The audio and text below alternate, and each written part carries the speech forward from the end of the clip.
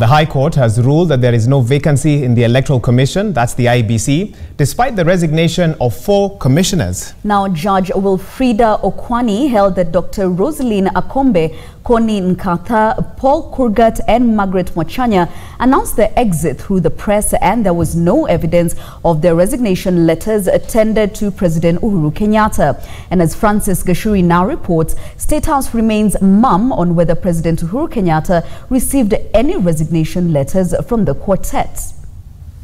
Maybe to take only two questions. April 16th, 2018. We regret to announce our resignation from the Commission with immediately effect. The trio exiting barely six months after Dr. Roslina Kombe resigned from the commission, citing irreconcilable differences with their colleagues at Anniversary Towers. The four slots remain vacant, leaving the commission in limbo, with only three commissioners out of seven in office.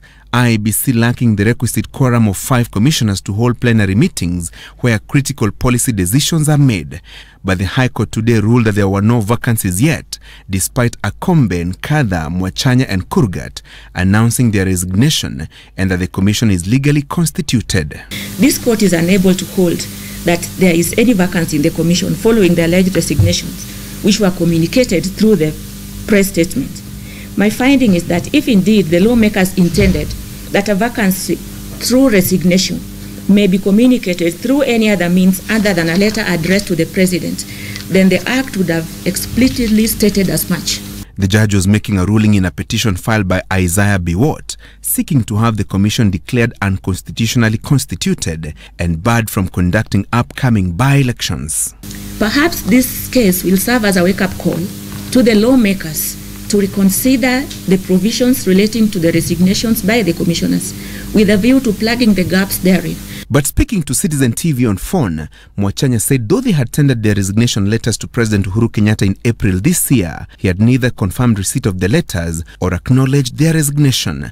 As such, she says they remain in office technically, and their slots could neither be declared vacant nor new commissioners recruited until the appointing authority confirms their exit. However, sources at the IEBC Human Resources Department confirmed that the four commissioners had returned vehicles and laptops assigned to them and their security detail withdrawn. Their salaries had also been discontinued and medical covers stopped. State House is yet to respond to a series of critical questions. Did the president receive the resignation letters? And has he accepted the exit of the four commissioners? Why has it taken 10 months to declare Akombe slot vacant and 4 months to confirm the exit of Nkatha, Mwachanya and Kurgat? Francis Gachuri, Citizen TV.